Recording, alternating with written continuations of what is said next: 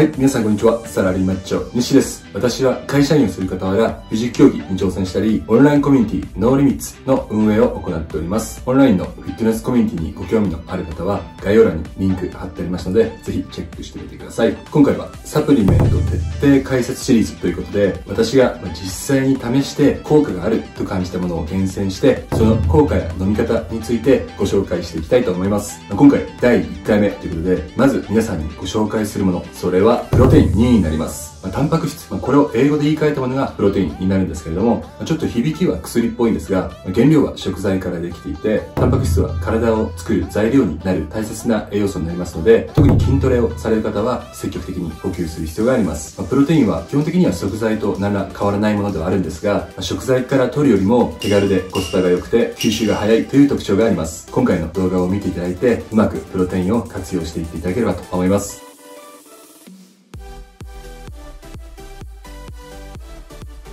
プロテインっていうのは原料によっていくつか種類が分かれます。有名なところで、ホエイ、ソイ、カゼイン、それ以外にもビーフプロテインだったり、ピープロテイン、エッグプロテインなんかがあります。特に有名なホエイ、ソイ、カゼイン、それぞれの特徴としては、ホエイについては、早い、安い、うまい、まさに吉野家のような存在です。種類も豊富で一番メジャーなプロテインになります。ソイの特徴としては、吸収がホエイと比べてゆっくりという点、そして植物性のタンパク質源であるということです。アミノ酸スコアだったり、まあ、飲みにくさ、ま、こういったものが昔のソイプロテインでは懸念としてあったんですが、最近のものは比較的美味しく飲めますし、アミノ酸スコアも改善されているものが売られるようになりました。でカゼインについては、ま、ホエイのまあ兄弟のようなもので、同じく動物性のタンパク質源になるんですが、体内でゆっくり吸収されるので、タイムリリース型のプロテインとして、血中のアミノ酸濃度を安定して保つことができるというメリットがあります。でまあ、純粋なタンパク質源として一般的にお勧めできるのは、やはりホエイです。ホエイをもう少し深掘りすると、と製法によってさらにいくつか種類に分かれます。WPC、タンパク質含有量が約80%程度。特徴としてはコストが安い。次に WPI、タンパク質含有量がま90%程度。特徴としては WPC よりも手間をかけて作られているので、コストが高い。そして乳糖も除去されているので、乳糖不対症の方も飲みやすいプロテインになります。次に WPH、タンパク質の含有量は物によって異なるんですが、これはタンパク質をさらに分解されたペプチド状になっていて、吸収効率が非常に良いという特徴があります。まあ、その分コストも上がってきます。これらをお勧めできる場合分けでご紹介していきますと、増量中の人の場合、おすすめとしては、あまりシビアに今マクロについて考える必要がないので、まあ、特に入隊不対症とかでなければ、WPC でいいかなと思います。逆に減量中の人の場合、まあ、不要なカロリー摂取っていうのを避けたいと思いますので、タンパク質含有量の高い WPI、あるいは WPH がおすすめです。乳糖不対症の方の場合は、WPI がいいかなと思います。まあ、基本的にには品質が良くなるにつれて、ま、コストが上がっていくっていうことになるので、ま、特にコストを気にしない方に関しては WPI あるいは WPH をお勧めします。この WPI と WPH の違いについては、ま、どちらがいいっていうのはこうとつけがたくて、ま、一般的にマクロ上で考えると不純物が少ないっていうのは WPI の方になります。ただ WPH の方の特徴として、吸収効率が非常にいいっていうところがあるので、ま、より少ない摂取量でしっかりと最終的にアミノ酸になる量っていうのが増えますし、あとはトレーニング中に WPH のプロテインを飲んでもお腹に溜まりにくい、まあ、そういった特徴もあるので、トレーニング中からプロテインを飲みたい、まあ、そんな用途で使われる場合は、まあ、WPH が非常にいいかなと思います。で、私の場合は、まあ、WPI を普段飲んでるんですが、トレーニング中に飲む場合は WPH のプロテインを飲んでます。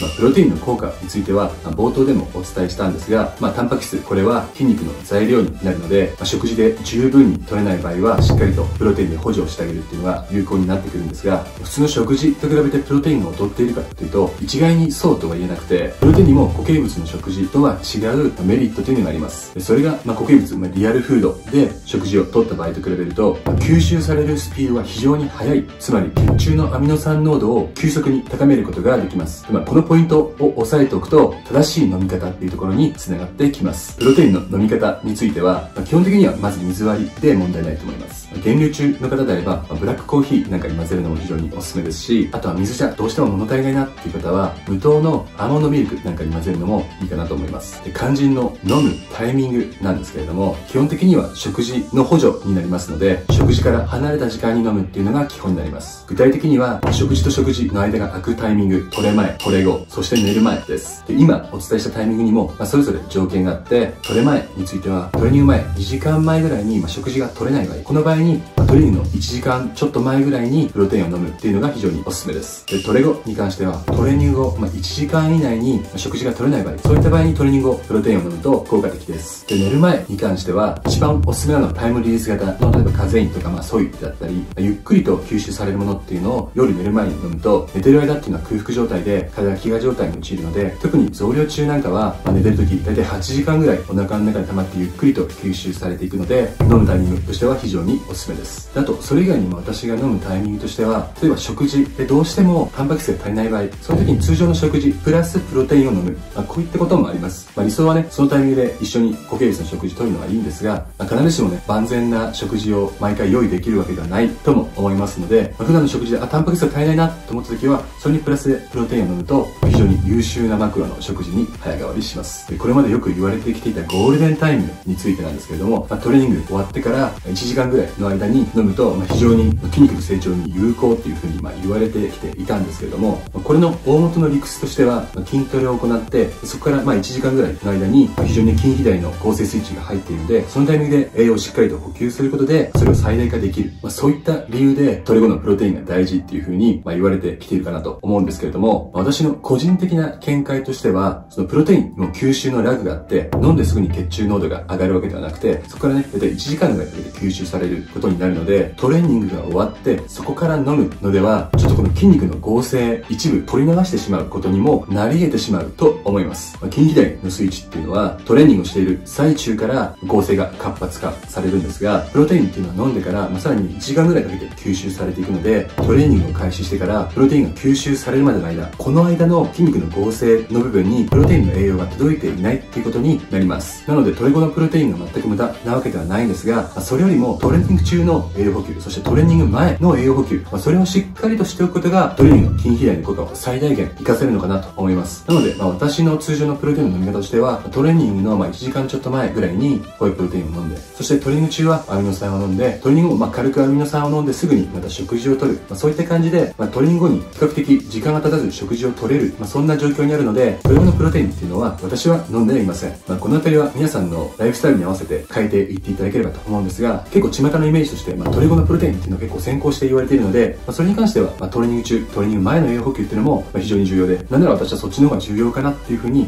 考えております。でここで少し、まあ、プロテインの、まあ、ネガティブな部分にも触れておこうかなと思うんですが、まあ、飲みすぎると、まあ、腎臓や肝臓に負担がかかる。カゼインに関しては、アレルギーの原因になる、あるいは発がん性がある、まあ、そういったことも言われています。でこの辺りは、まあ、個人でご判断いただくしかないんですけども、基本的に、まあ、何でもね、飲みすぎてしまうと、体に良くないっていうのも全て共通することなので、例えばにいいと言われている青汁ですら、飲みすぎたらカリウム中毒になっちゃうので、日常の食事の補助として使っていく分には、特段、まあ、健康上の心配っていうのは、まあ、健康体の方であれば気にしていただく必要がないんじゃないかなと思います。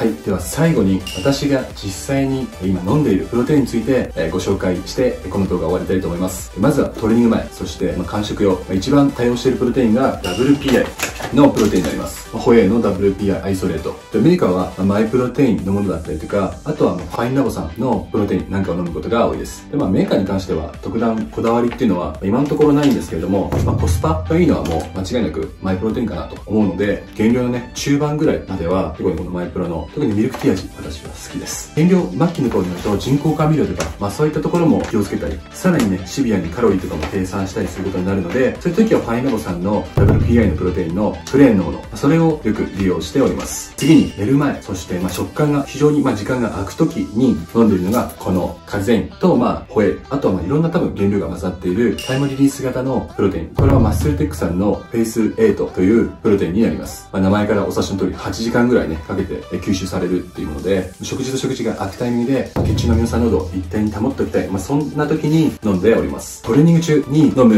WPH のプロテインとしては、このゴールドジムさんにかけているアアミノコンプレックス。でも私は基本的にワークアウトドリンクとしては、まあ、カーボと、あとは BCAA、EAA を混ぜて飲んでいるんですが、まあ、周期的に、まあ、プロテインを混ぜたりして、まあ、いろいろ試しながら、まあ、内容を変えていて、まあ、そういった時に飲むのがこちらになります。これはね、ちょっと味好き嫌いあるかと思うんですけども、WPH のものっていうのは結構味が独特で、えー、苦味みたいなもの出るんですが、私基本的にはこれは、まあ、慣れてきたというか、非常に美味しく飲めるようになりました。トレーニング中にプロテインを飲みたいという方、それから少量のプロテインでしっかりとアミノ酸を効率的に吸収させたい方は、このアミコンおすすめです。で、まあ、この辺りが私がまあ普段飲んでいるプロテインなんですけども、まあ、基本的にはこう、まあ、定期的にいろんなものを試して、まあ、自分に合うものはないかっていうのを探しているので、結構ね、コロコロルーティンっていうのは、ローテーションっていうのを変えて飲んでいってます。で、今ある変わり種としては、このクリケットプリテインコオロギのプロテインです。これは、まあ、あの、今後ね、まあ、世間的に、まあ、サスティナブル、まあ、環境にいいものっていうのが、まあ、好まれるようになってくるかと思うので、まあ、その中で結構、ね、コオロギ、昆虫食っていうのが今結構注目されていて、まあ、ものは試しやと思って、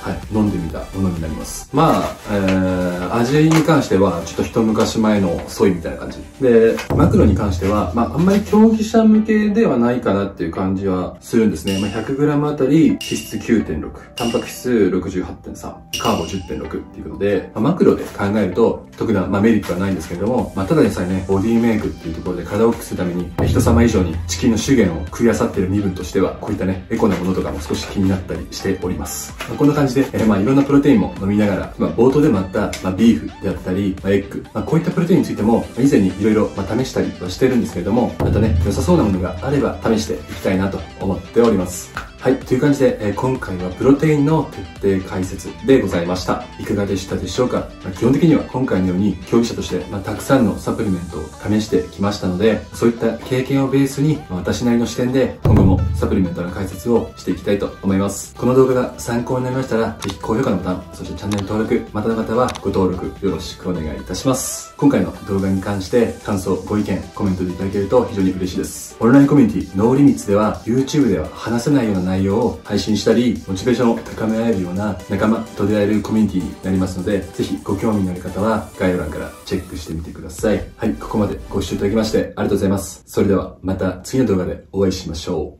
う。バイバイ gonna make it. You're not good enough. There's a million other people with the same stuff. You really think you're different? Man, you must be kidding. Think you're gonna hit it, but you just don't get it. It's impossible, it's not probable. You're irresponsible, too many obstacles. You gotta stop it, yo, you gotta take